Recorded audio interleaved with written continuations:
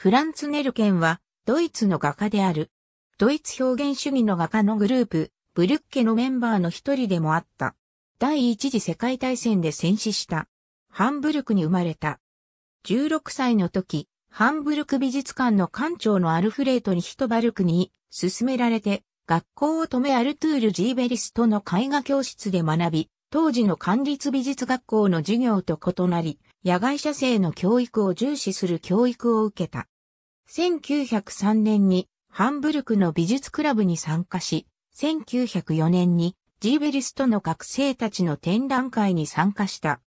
1905年にノルトベストファー練習のボーゲルンで活動する間に、エドバルド・ムンクやカール・エルンストーストハウス、クリスティアン・ロールフス、エミール・ノルデといった画家たちと出会い、後にネルケンが財政的支援を受けることになるコレクターのルンプとも知り合った。1907年にジーベリストの学生仲間のアーレルス・ヘスターマンらとパリを訪れ、モンパルナスのカフェ、ドームに集まった各国の芸術家の一人となった。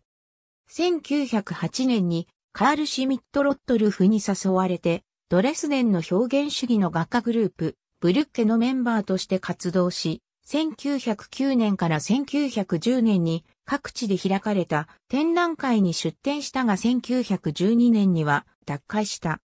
1909年には再びパリを訪れ、アンリ・マティスが1908年から1911年まで教えたアカデミー・マティスで学んだ。1912年にハンブルクの私立の美術学校で教え始めた。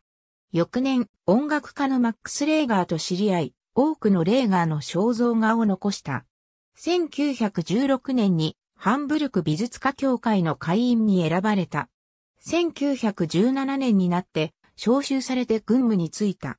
1918年の第一次世界大戦の終わる一週間ほど前にフランス、エーヌ県のラカペールで戦死した。ありがとうございます。